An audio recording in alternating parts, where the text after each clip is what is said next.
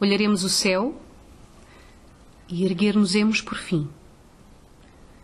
E eu baixar-me-ei ao rio e trarei água na concha das mãos. E derramá-la-ei imensamente e devagar sobre a tua cabeça. E direi para toda a história futura, na eternidade de nós: Eu te batizo em nome da terra, dos astros e da perfeição.